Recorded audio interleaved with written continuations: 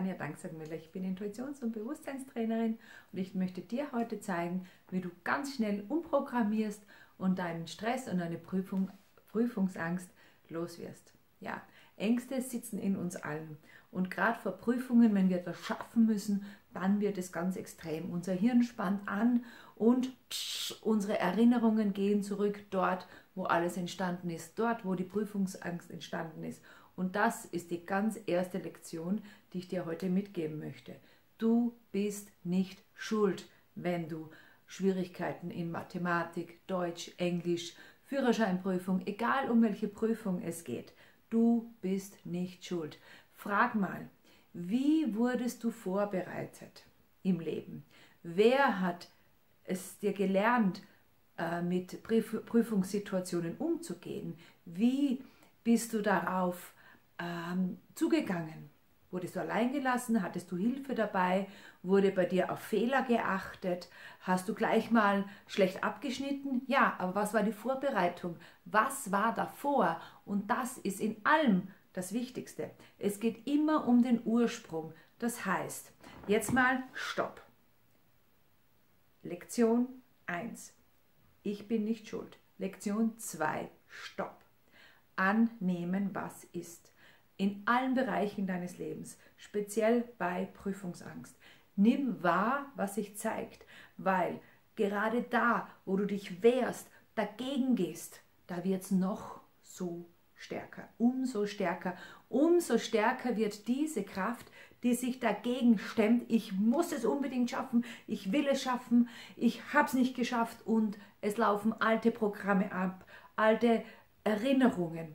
Und die werden gelöscht. Nummer drei, unwirksame und, und, und ungewollte Programme werden gelöscht in deinem Hirn. Ganz schnell, wenn dir bewusst wird. Unser Hirn arbeitet wie ein Computer. Eine Bahn, eine Emotion, ein Gedanke zzz, läuft in der Schleife, geht nicht, kann ich nicht, schaffe ich nicht. Und das irgendwo entstanden in deinem Unterbewusstsein. So, nun weißt du, es gibt ein Gehirn, es gibt Erfahrungen, es gibt etwas, was abläuft und Nummer eins wieder, du bist nicht schuld. Das heißt, programmiere in dir als allererstes, ich bin nicht schuld für das, was es ist. Denn wenn du dir selbst die Schuld einmal nimmst, kannst du ganz oder etwas leichter auf die Situation hinschauen, um die Situation anzunehmen. Nummer zwei, erinnere dich, annehmen, was ist. So, nun spürst du hin, wie es dir geht mit dieser Situation. Okay, du siehst dich, nimmst dich wahr in dieser Situation. Nun hebst du dich heraus, so als ob ein Doppelgänger auf dich schaut. Spür mal rein. Das ist eine Übung, die du machen kannst mit zwei Sesseln eventuell, wo du dich neben dir dann hinsitzt und spürst, wie geht es der Person, die solche Angst hat, die solche Prüfungsangst hat. Kann da das Hirn ordentlich arbeiten? Genau, das ist es eben. Durch diese Angst wird im Gehirn eine Blockade erzeugt und du kannst nicht mehr auf dein Wissen zugreifen. Das heißt, auch wenn du auch gut gelernt hast, blockierst du dich selbst durch deine Angst. Was ist der logische Schritt? Es bringt nichts, Angst zu haben. Es macht alles nur noch schlimmer wie Ärgern alles nur noch schlimmer macht, ist auch die Angst etwas, das alles nur noch schlimmer macht. So, wie kommst du nun los von deiner Angst? Da ist schon wieder der Schritt 2, diese einmal zu erkennen, wahrzunehmen und Ja zu sagen zu dieser Angst. Hast du nun diese Angst parat, dann sag dir, wo habe ich bereits etwas erlebt, wo ich etwas geschafft habe. Vielleicht bist du nicht gut in Mathematik, vielleicht kannst du aber ganz gut etwas zeichnen. Vielleicht kannst du ganz gut zuhören. Vielleicht kannst du ganz gut wiedergeben. Jetzt such mal deine Dinge, die dich ganz besonders machen. Ich bin mir ganz sicher, du hast schon irgendetwas ganz besonders geschafft. Denk nach.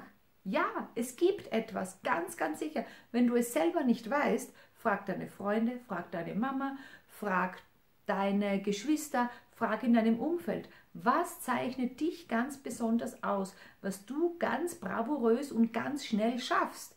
Ich bin mir sicher, du kannst etwas. Nur selber glauben wir immer, das, was wir können, das ist normal. Was ist normal? Gar nichts ist normal, weil jeder eine andere Wahrnehmung und Realität hat. So, wenn du nun herausgefunden hast, was du wirklich gut kannst, ich nehme jetzt wieder die Schulfächer her, es gibt irgendein Fach, wo du gut bist. Zum Beispiel Musik, Sport, Deutsch. Irgendetwas, nimm heraus. Oder was dir in der Freizeit und in deinem Hobby gut gefällt. Irgendetwas fasziniert dich. Durch diese Freude aktivierst du neue Regionen in deinem Gehirn. Das heißt, für das Umprogrammieren deines Gehirns, das alt war, ich kann nicht Mathematik, ich schaffe die Prüfung nicht, brauchst du zunächst positive Emotionen. Das heißt Freude in dein Gehirn. Schau, dass du irgendwie in dieser Beobachtung deiner selbst, so dein Doppelgänger beobachtet dich und sagt jetzt, ha, ich mache mich jetzt selber fröhlich. Das ist der Prozess. Du, beacht, du beobachtest dich von außen, schaust drauf und beobachtest dich als fröhlicher Mensch. In einer Situation, wo du etwas gut kannst, wo du einen Wurzelbaum machst, wo du Radfahren lernst und ja, du hast es geschafft, du sitzt auf dem Fahrrad und auf einmal fährst du. Das kann nicht jeder. Schau mal, wenn jemand beginnt, Radfahren zu lernen, das ist ganz schwierig. Oder auch zu sprechen. Schau mal, wenn du eine fremde Sprache sprichst, du hast vielleicht Deutsch, schon wunderbar gelernt. Du kannst das. Das heißt, durch diese Freude, mit dieser Begeisterung für dich selbst, dass du etwas schaffen kannst oder etwas, was dir Spaß macht, hebst du schon dein, deinen ähm, chemischen Spiegel in deinem Hirn. Das heißt, diese Frequenzen in deinem Hirn, die funken ganz anders. Es können neue Synapsen gebildet werden. Und indem du dir jetzt sagst, ja, ich will, meine Programmierung in meinem Hirn für zum Beispiel Mathematik, für die Führerscheinprüfung ändern, mit einem Ich will, deiner inneren Überzeugung, dass du etwas willst und einem positiven Gefühl, hast du alles, damit du neue Gehirnregionen aktivieren kannst. Und das ist schon mal die Grundvoraussetzung, um gut in eine Prüfung hineinzugehen. So, nun gehst du neue Wege. Wie in eine neue Wiese du einen Weg gehst und diesen öfter gehen musst, damit auch ein Weg entsteht. Das heißt, immer wieder, wenn du spürst, deinen Versagensgedanken, deine Erinnerung an das, was schon passiert ist, an das Negative kommt, so sagst du Stopp, nein, ich will und erinnerst dich immer wieder, was du willst, den neuen Weg zu gehen, weil das Alte ist alt, ist bereits Vergangenheit. Du brauchst nicht mehr auf deine alten Erinnerungen zurückgreifen, wo du vielleicht einen Fünfer bekommen hast, wo alles rot war, wo du Aufgaben nicht gelöst hast, wo du etwas nicht geschafft hast. Das willst du nicht mehr. So, deshalb richtest du deine Aufmerksamkeit in die neue Richtung und gehst diesen Weg und lässt dich davon nicht abbringen. So sammelst du immer neue Eindrücke, immer neue Erfolgserlebnisse, mach sie klein.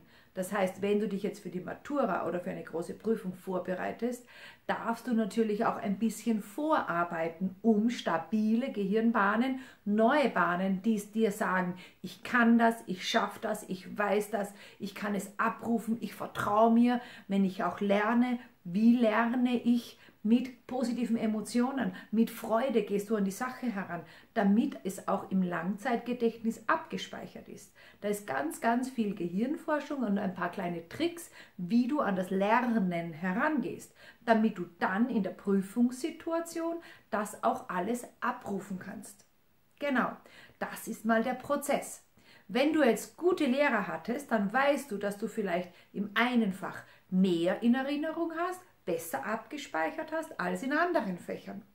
In Mathematik war vielleicht immer das große Fragezeichen, weil dir vielleicht viele andere Menschen gesagt haben, Mathematik ist schwer. Mathematik, boah, da muss man viel lernen. Doch, gerade bei Mathematik ist alles logisch aufgebaut. Es ist klar. Und auch für jede andere Prüfung, wenn du lernst, wirst du einen Großteil so verstehen, wenn Zusammenhänge gut erklärt werden, vielleicht von unterschiedlichen Personen. Unterschiedliche Erklärungsmöglichkeiten für ein Thema, für ein Problem, dass dir jemand anderer erklärt, wie er das sieht, wie er die Lösung findet, damit du nicht alleine an etwas arbeitest und kein Erfolgsgefühl hast. So, nun wäre es gut, wenn du dir noch jemanden suchst, der auch an diesem Thema, an deiner Prüfung, die du zu, die du zu bestehen hast, vielleicht, äh, dass ihr euch da gemeinsam austauscht. Also Bodyarbeit ist immer von Vorteil. Wenn du nun alleine bist, dann schau, dass du dich selbst immer wieder herausholst. Das heißt, du beobachtest dich selbst von außen und schaust, wie geht es mir, wenn ich so Angst habe? Will ich das? Fühlt sich das gut an? Nein, immer wieder aussteigen und sagen, wie will ich mich fühlen? Okay, anders. Wie du nun deinen Körper und dein Fühlen wirklich umprogrammierst, das geht jetzt im Unterbewusstsein. Das heißt, hier kommt jetzt das Intuitions- und Bewusstseinstraining ein bisschen ins Spiel zu dieser Gehirnforschung und diesen anderen allgemeinen Tricks der Freude und der Glückseligkeit. Gut. Du brauchst auch ein bisschen Ruhe, das heißt diese Vorbereitung.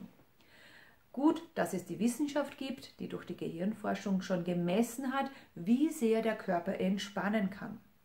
Muskeln entspannen können. Das heißt, durch unsere Atmung kannst du ganz viel in deinem Körper bewegen und durch Visualisieren. Das heißt, nun Nummer 1, du kannst dich noch erinnern, was war die Nummer 1?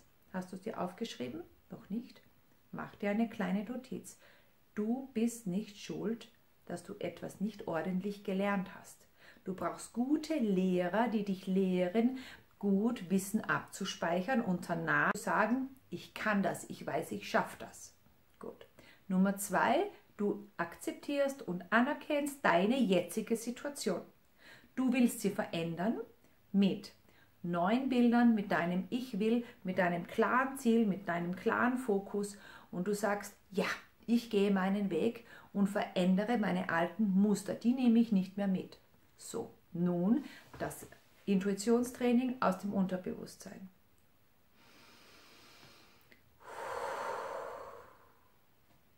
Ruhig werden. Mhm. Ruhe, ganz viel Ruhe bedarf es, bevor du in eine Leistung gehst. Das heißt, bevor du in die Prüfung gehst, brauchst du selbst eine Methode, die du bei dir anwendest, die dein Hirn abgespeichert hast. Wenn du das machst, dann weiß dein Körper Ruhe. Das heißt, du kannst nun jedes Mal, bevor du schlafen gehst, in dir einen, wie einen Mechanismus starten. Zum Beispiel, wenn du schlafen gehst, spürst du deinen Atem. Du konzentrierst dich ganz wesentlich auf deinen Atem, auf dein Ein- und Ausatmen und bei jedem Ausatmen sagst du dir im Unterbewussten, ich bin ruhig. Von jedem Atemzug zu jedem Atemzug werde ich ruhiger und ruhiger. Und tief atmen. Du ziehst den Atem tief in den Bauch hinein und spürst ihn wirklich in dir. Die Atmung ist etwas wirklich Essentielles. Gerade wenn du Angst hast, wirst du spüren, ganz flaches Atmen macht den Atem und dein ganzes System noch aktiver. Es kommt noch mehr Sauerstoff so kurz in den Körper hinein. Das heißt, wirklich spür und atme langsam. Dann schließt du die Augen und versetzt dich dorthin, wo dein Lieblingsplatz ist. Lass ihn einfach kommen. Stell dir vor, wo du dich wirklich wohlfühlst bin auf einem Segelboot in der Karibik. Ich rieche das Wasser, ich höre, ich fühle mit all meinen Sinnen, ich sehe das türkisblaue Wasser. Von deinem Lieblingsort jetzt machst du ein unglaublich schönes Foto, spürst es und nimmst das auch immer wieder beim Einschlafen zur Hand. Immer wenn du spürst, Du wirst langsam, dein Atem wird langsamer, du bist knapp vorm Einschlafen. Du visualisierst deinen Lieblingsplatz, deinen Lieblingsort, wo du dich sicher fühlst, wo du dich gut fühlst, wo du ruhig bist und dann spürst du deinen Atem tief in dich hinein. Der nächste Schritt ist, ich bin ruhig und gelassen und ich weiß, ich kann alles schaffen, was ich will. Und einmal zu schauen, ob deine innere Stimme, dein innerer Denker, dein innerer Kritiker jetzt kommt, nein, stimmt nicht, stimmt nicht. Dann notierst dir, mach dir Notizen, was du im Unterbewusstsein, das heißt dein Kritiker, was dir gesagt worden ist. Du hast es ja gesammelt, nicht aus dir heraus, sondern es wurde dir von außen gesagt. Oder du hast Erfahrungen gemacht, die dir jemand gelernt hat, dass du etwa nicht gut genug bist. Und nun schreib auf deine die hinderlichen Glaubenssätze, die in dir noch aktiv sind, wo du verloren hast, wo du dich nicht auf dich selber konzentriert hast. Das sind die ganzen kleinen Dinge, die dich ablenken davon, eine Prüfung zu schaffen. Du brauchst den Fokus ganz auf dich selbst und das darfst du immer wieder lernen vor dem Einschlafen. So, wir haben nun einige Dinge schon gesammelt. Wir sind am Abend beim Einschlafen, beim Ruhigwerden und das ist das Abspeichern, damit dein Körper sich dann, wenn du direkt bei der Prüfung bist, sich erinnern kann, dass du ruhig bist, dass du dein ganzes System herunterfährst. Das heißt, tiefes Atmen, in den Bauch hineinatmen, deine Visualisierung von deinem Ruhebild oder auch wenn du etwas gewonnen hast, wenn du ein Siegesfoto vor dir hast, deine Erfolgserlebnisse alle gesammelt hast, kannst du auch in ein Notizbuch hineinschreiben. Und dann weißt du, ich weiß, ich kann es schaffen. Und das verstärkst du immer und immer wieder mit diesem ruhigen, tiefen Atem. Ruhig werden. Und dann kannst du noch zusätzlich ein Bild integrieren in dieses ganze Gefühl der Sicherheit und der Ruhe, vielleicht auch das, das, das Bild des Baumes mit den tiefen Wurzeln in die Erde, wenn du diese tiefen Wurzeln spürst oder so einen richtig großen Baum einmal vor dir gesehen hast. Und da kann kommen jeder Sturm, sei er noch so wild, der Baum bleibt tief verankert. Dieses Gefühl oder dieses Bild nimmst du zuerst einmal her und fühlst dich hinein.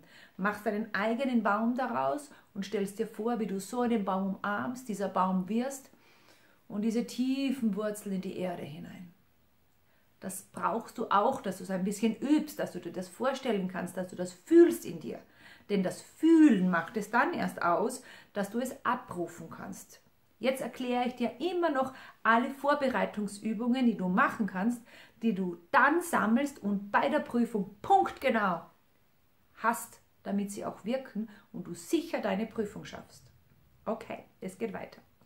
Du visualisierst den Baum, du visualisierst deinen Lieblingsplatz, die Ruhe, die Gelassenheit und du sagst dir immer und immer wieder, ich weiß, ich schaffe es, ich weiß, ich kann alles schaffen, was ich will, ich weiß, ich bin gut, ich kann mir selbst vertrauen. Ruhig werden. Vielleicht legst du die Hand auf den Bauch, aufs Herz und jetzt brauchst du noch Wärme. Ein gutes Gefühl und ganz viel Wärme. So als ob dich hm, ja, ich weiß nicht, Bub, Mädchen, ist vielleicht ein Unterschied, dich die Mama umarmt, ob du das jetzt noch als, als gut empfindest. Stell dir einfach vor, oder wie du dich selbst umarmst, wie es angenehm und warm ist, wenn du dich selbst umarmst und, und einfach diese, diese Liebe spürst, diese Wärme spürst, die Geborgenheit spürst. Und diese Wärme lässt du dann in dich hereinfließen und wirklich ganz tief in deinen Bauchraum hinein diese Wärme zu spüren. Dazu hilft es auch, wenn du dich vielleicht verbindest mit der Sonne hinauf, dass du spürst, du bist mit der Sonne verbunden, so mit der ganzen Urkraft dieser Welt und auch mit der Erde, die dir Halt gibt, mit diesen Wurzeln und mit diesem weiteren Bild, das du dir kreieren kannst, spürst du einfach, mich kann nichts aus der Ruhe bringen. Ich bin der Fels in der Brandung oder eine Superman Pose, ja, ich kann das, mach, spür mal rein, was du brauchst, dass du wirklich das spürst, boah, ich bin so genial. Du darfst wirklich übertreiben, dass du dieses Gefühl gut herbringst. Kreier dir ein eigenes Bild, ein, ah, eine Fantasiewelt, in der du spürst, boah, ich bin gut. Mach das immer und immer wieder in der Früh, immer wenn du dran denkst und am Abend. So programmierst du jetzt deine neue Bahn in deinem Hirn, die, die äh, Nervenzellen funkeln und, und, und, und, und äh, bilden neue Synapsen, feuern, wollte ich sagen, und werden immer stärker, immer dicker. Und so geht dein neuer, ba neuer Weg. Dann machst du kleine Schritte. Das heißt, du nimmst dir was vor, wo du auch weißt, du schaffst es und feierst dann und bist richtig stolz auf dich. Und so sammelst du und sammelst du und sammelst du. Du machst kleine Schritte, du machst eine kleine Vorprüfung, eine kleine Vorübung. Und wenn du sie nicht schaffst, dann weißt du, Fehler sind wunderbar, wenn du sie machst und daran weißt, was du dann zu ändern hast. Fehler aus Fehlern wird man klug, darum ist einer nicht genug. Das heißt, wenn du übst und übst und übst und selber drauf kommst, was dann falsch ist, dass du dann auf das richtige Ergebnis kommst, dann kannst du dir sicher sein, dass es ganz tief abgespeichert ist in deinem Gehirn. Und dann kannst du es auch punktgenau abrufen, wenn es gefragt ist. So kann dich nichts erschüttern. Und jetzt kommen wir zum Abschluss dieser ganzen Übung, das Vorausvisualisieren, was dir unglaublich Kraft geben kann, dass du die Prüfung auch wirklich schaffst. Nimm dir gut zumindest drei Tage Zeit, wo du deine ganze Energie dorthin schickst, wo die Prüfung sein wird, auch wenn du nicht genau weißt, wo, wo die, die, äh, der, der Platz sein wird. Einfach nur ähm, in, deinem, in deiner Vorstellung. Du bist dort, du gehst hin zur Prüfung. Wenn du natürlich weißt, wie es dort aussieht, ist es noch viel besser für dich, da du viel klarer visualisieren kannst. Das heißt, nun mit dem allem im Gepäck, mit deiner Kraft, mit deiner Zuversicht, mit deinen inneren Bildern, mit dem, was du vorgearbeitet hast, mit dem Nummer eins, weißt du noch? Mhm. Ich schaffe das, weil ich bin nicht schuld, falls ich es nicht kann, weil ich habe es jetzt geändert und ich weiß jetzt, wie man richtig lernt. Mhm. Wunderbar, du hast bereits umgemustert. So funktioniert das. Die neue Bahn, der neue Weg in deinem Gehirn ist bereits offen und wird nun gefüttert mit allen neuen Gefühlen. Du klopfst dir auf die Schulter, wenn du weißt, ja, ich habe schon so viel geschafft in meinem Leben. Vielleicht hast du nicht ordentlich hingesehen und hast nicht alles gefeiert, was du wunderbar geschafft hast. Vielleicht hast du auch selber noch immer ein bisschen auf die negativen Dinge geschaut. Okay, Negatives wird gestrichen, wird hinter dir abgelegt, du schaust nach vorne und gehst einen neuen Weg. Du visualisierst, wie du hingehst zu deiner Prüfung. Du strahlst Licht und Segen dort in den Ort zu allen Prüfungsbeteiligten, alle, die damit zu tun haben und du weißt, du bekommst Fragen, die du auch wirklich gelernt hast. Ja, das kannst du auch machen. Du kannst das selbst beeinflussen, indem du dir sicher bist, wenn du lernst, verlass dich auf dein, dein Spüren. Wir sind so verbunden mit allem, was ist. Wenn du darauf vertraust, dass du die richtigen Seiten aufschlägst, je mehr du deiner inneren Weisheit, die dich sowieso immer führt, vertraust und das richtige Denkerhirn, was muss ich jetzt lernen, muss ich jetzt das oder das, wenn du das Denkerhirn bei dem Auswählen des Lehrstoffs, wenn du das ein bisschen auf der Seite lässt und mit deiner Intuition arbeitest, dann wirst du noch gezielter und noch besser genau den Stoff lernen, den du dann auch wirklich brauchst. Das heißt, jetzt sind wir beim letzten Schritt, dritter Schritt, das Vorausvisualisieren der Prüfungssituation. Du strahlst Licht und Segen darauf, alles, was du dort brauchst, Wärme, Zuversicht, äh, Selbstvertrauen, alle diese Gefühle und Emotionen spürst du und schickst dorthin. Wumm so als ob du ein Paketdienst bist und das ganze Paket schon da in diesen Raum hineinschickst. Und dann, wenn du diese Prüfung betrittst, hat dein Gehirn das alles schon einmal erlebt. Das heißt, das funktioniert. Dein Gehirn weiß nicht wirklich, ob du es wirklich schon mal erlebt hast oder nur vorausvisualisiert hast. Du kennst das vielleicht vom Sagen, ich kann das, ich weiß, ich schaffe das. Gut. Nummer zwei, du akzeptierst und anerkennst deine jetzige Situation. Du willst sie verändern mit neuen Bildern, mit deinem Ich will, mit deinem klaren Ziel, mit deinem klaren Fokus und du sagst, ja, ich gehe meinen Weg und verändere meine alten Muster, die nehme ich nicht mehr mit. So, nun das Intuitionstraining aus dem Unterbewusstsein.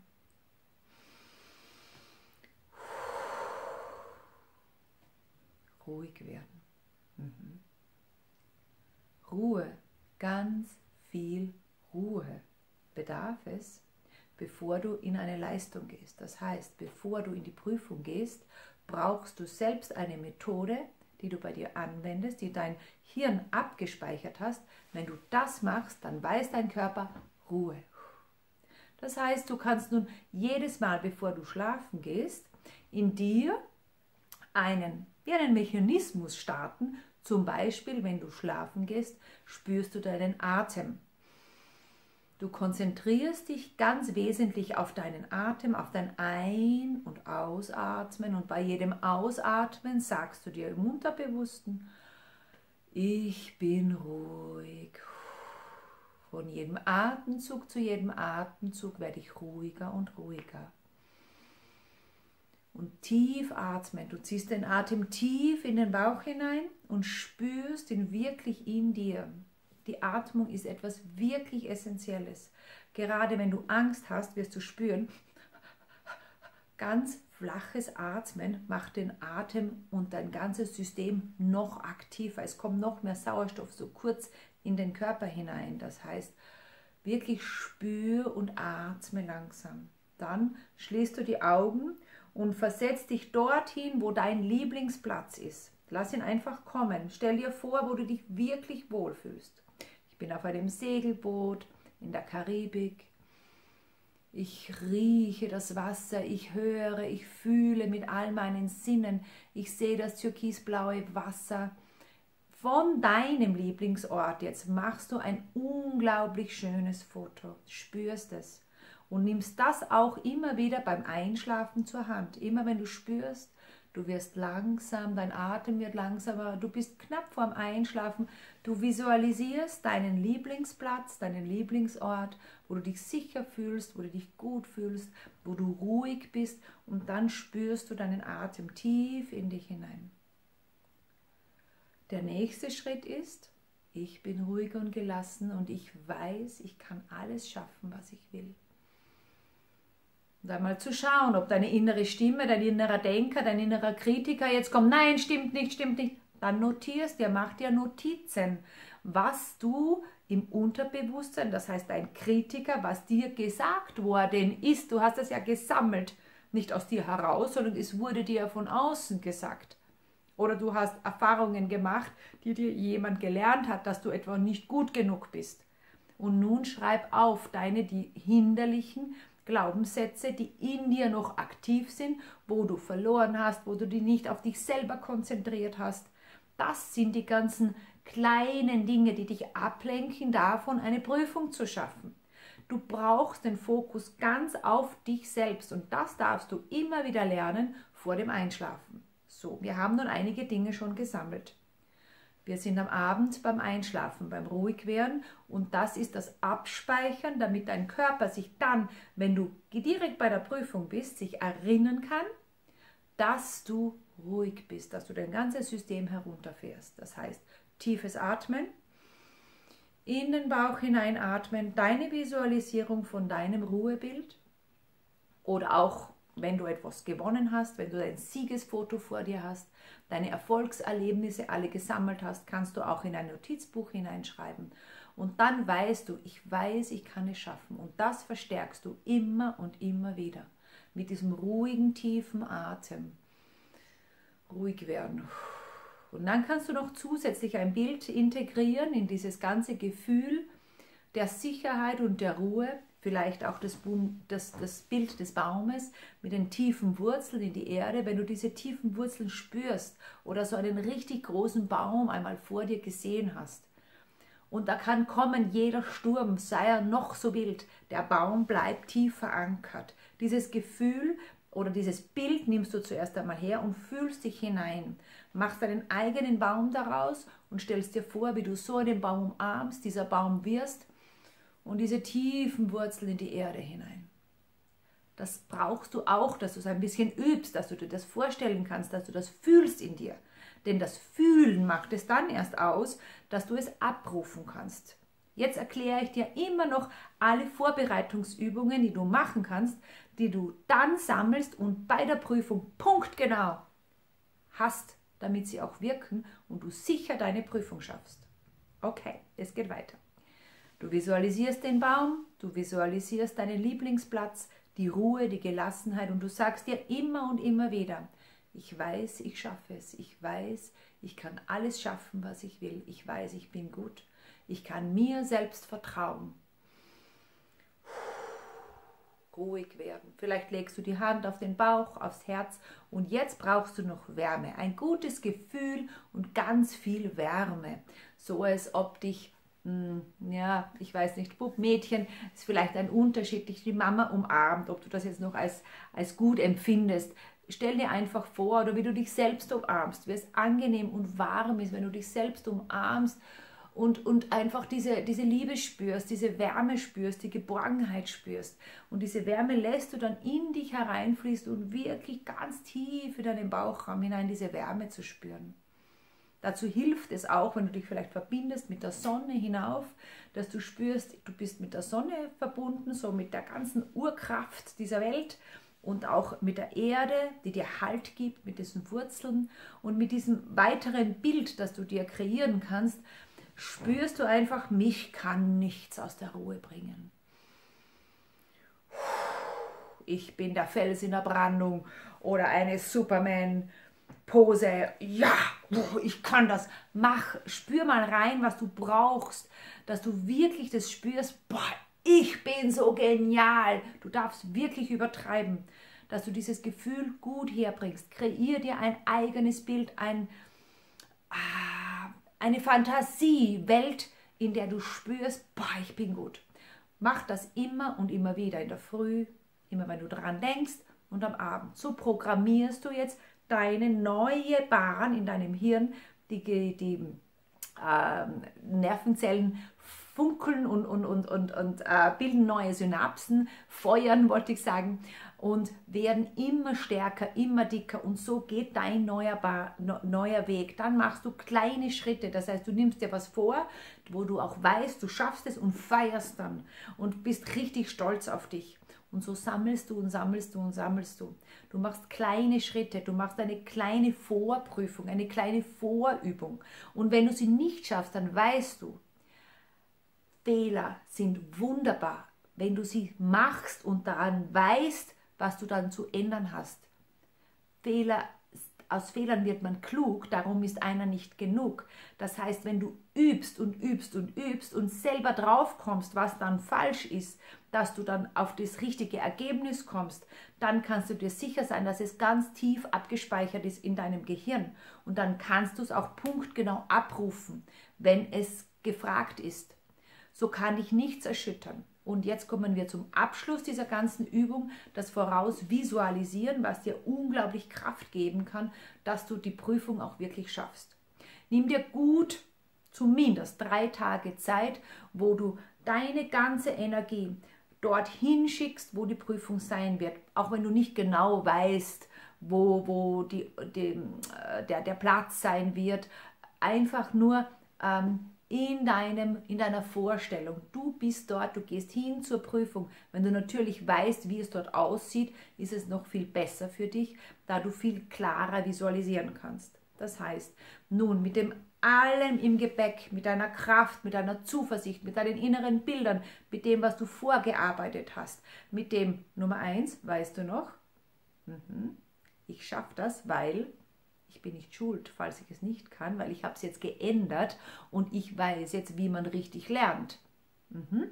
Wunderbar, du hast bereits umgemustert. So funktioniert das. Die neue Bahn, der neue Weg in deinem Kihirn ist bereits offen und wird nun gefüttert mit allen neuen Gefühlen.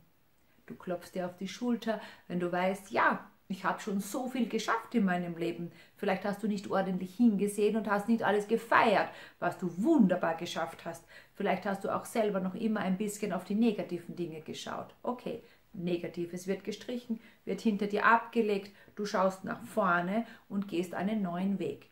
Du visualisierst, wie du hingehst zu deiner Prüfung. Du strahlst Licht und Segen dort in den Ort zu allen Prüfungsbeteiligten, alle, die damit zu tun haben und du weißt, du bekommst Fragen, die du auch wirklich gelernt hast. Ja, das kannst du auch machen. Du kannst das selbst beeinflussen, indem du dir sicher bist, wenn du lernst, verlass dich auf dein, dein Spüren. Wir sind so verbunden mit allem, was ist. Wenn du darauf vertraust, dass du die richtigen Seiten aufschlägst, je mehr du deiner inneren Weisheit, die dich sowieso immer führt, vertraust und das richtige Denkerhirn, was muss ich jetzt lernen, muss ich jetzt das oder das, wenn du das Denkerhirn bei dem Auswählen des Lehrstoffs, wenn du das ein bisschen auf der Seite lässt und mit deiner Intuition arbeitest, dann wirst du noch gezielter und noch besser genau den Stoff lernen, den du dann auch wirklich brauchst. Das heißt, jetzt sind wir beim letzten Schritt, dritter Schritt, das Vorausvisualisieren der Prüfungssituation. Du strahlst Licht und Segen darauf alles, was du dort brauchst, Wärme, Zuversicht, äh, Selbstvertrauen, alle diese Gefühle und Emotionen spürst du und schickst dorthin. Wum. So als ob du ein Paketdienst bist und das ganze Paket schon da in diesen Raum hineinschickst. Und dann, wenn du diese Prüfung betrittst, hat dein Gehirn das alles schon einmal erlebt. Das heißt, das funktioniert. Dein Gehirn weiß nicht wirklich, ob du es wirklich schon mal erlebt hast oder nur vorausvisualisiert hast. Du kennst das vielleicht vom Fahren immer und wieder die Strecke durch, damit im Hirn alles abgespeichert ist, ganz präzise, ganz genau, jede Bodenunebenheit, alles wird abgespeichert, damit der Körper automatisch das auch macht. Und so visualisierst du vor schwierige Aufgaben. Ich bleibe ruhig und gelassen. Ich weiß, die Antwort fällt mir zu. Weitergehen, das nächste machen. Das Wichtigste an jeder Prüfung ist, ruhig zu bleiben. Damit die Kanäle, die Bahnen offen bleiben in deinem Gehirn, dass es funken kann, dass jede Botschaft und alles, was du hier ab, was du hier gelernt hast, abrufbar bleibt. Es ist ja da und deshalb Ruhe und Gelassenheit. Du visualisierst vor, wie du ruhig dort sitzt, auch wenn irgendetwas Unvorhergesehenes kommt. Der Baum ist da, die Sicherheit ist da, die Ruhe ist da. Du schreibst weiter, überspringst vielleicht etwas, schreibst weiter, machst dein Ding ganz wunderbar und vor allem du hast Freude daran. Du hast wirklich Freude, dein Wissen abliefern zu dürfen. Ja, so hast du alles verändert. Spürst du das? Wenn du dich wirklich vorbereitest auf etwas und du weißt, du kannst was, dir selber vertraust, dann kannst du ja voll Freude hingehen und sagen, wow, ich bin so froh, dass ich endlich da mal was reinschreiben kann, dass ich abrufen kann, was ich gelernt habe. Und dann bist du stolz auf dich. Das visualisierst du immer wieder voraus, so lange bis du dir sicher bist. Und dann, wenn du wirklich zur Prüfung hingehst, dann wirst du spüren, dass es diesmal ganz anders ist. Vor jeder Prüfung nochmal kurz fünf Minuten, zehn Minuten für dich sein, einkehren in dein Innerstes tief atmen, alles abrufen, was ich dir jetzt gerade aufgezählt habe, diese inneren Bilder, spüren, ruhig werden. Dein Blutkreislauf läuft anders. Deine Hormonausschüttung ist anders. Und dein Zugriff zu deinem eigenen Wissen wird offen sein und offen bleiben. Dafür wünsche ich dir ganz viel Spaß und viel Glück für jede Prüfung, die du hast. Alle Maturantinnen und Maturanten, die jetzt gerade davor sind oder auch alle anderen, die irgendeine Prüfung vor sich haben. Wenn es noch irgendwo hakt, darfst du mich auch gerne anrufen. www.balanceyourlife.at.